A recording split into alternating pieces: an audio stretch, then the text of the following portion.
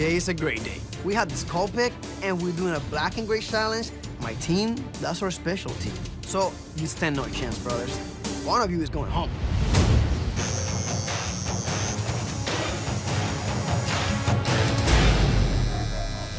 Lots of little details going on here. I wish it didn't have to hurt. I'm doing the Taos Pueblo. Bob told me it's a big rock formation, but turns out it's an entire town made out of adobe. It's like one of the most detailed tattoos I've ever done, I'm not gonna lie. Black and gray realism is my specialty. If I don't nail every single ledge and window and stair in this tattoo, I'll never hear the end of it.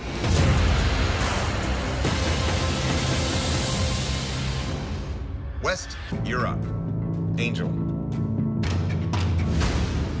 Overall, I think it's a very smart play on how to attack this. Thank you. Good job, Angel.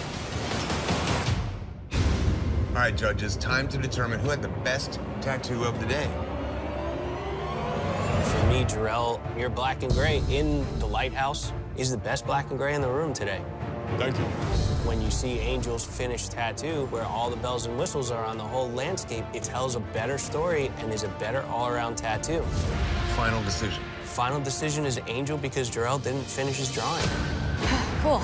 The judges have decided that the best tattoo of the day goes to Angel. Thank you. Ink Master Turf War. Watch the full season now on the Paramount Network app. Brought to you by Jack Daniels.